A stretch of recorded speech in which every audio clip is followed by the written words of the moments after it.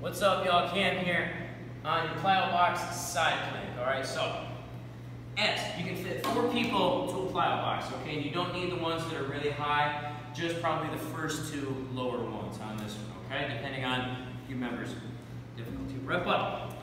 You're gonna plant that top foot on there. Other leg kind of goes inside the box.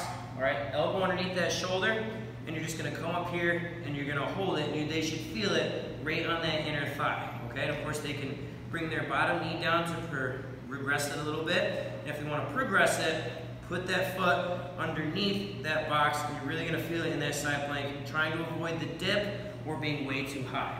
Okay.